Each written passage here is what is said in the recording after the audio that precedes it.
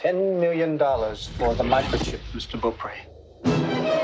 We will find it. Their mission is deadly. Has to be on a plane. We are going to Chicago. Their technology is state of the art. 26 miners in the 14 houses we haven't checked. Their strategy is unheard of. We're gonna work houses in broad daylight.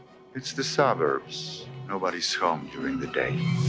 They've got the perfect plan. That's the house. Tomorrow we hit.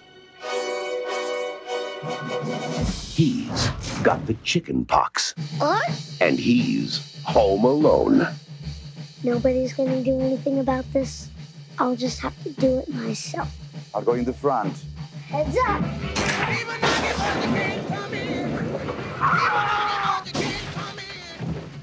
Ouch.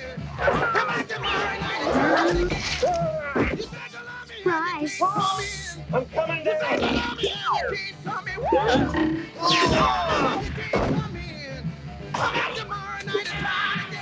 From John Hughes, the writer and producer of Home Alone.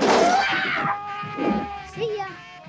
This Christmas, staying home will become an adventure again. Home Alone 3, Wait till you see what I do next. written by John Hughes, directed by Raja Gosnell,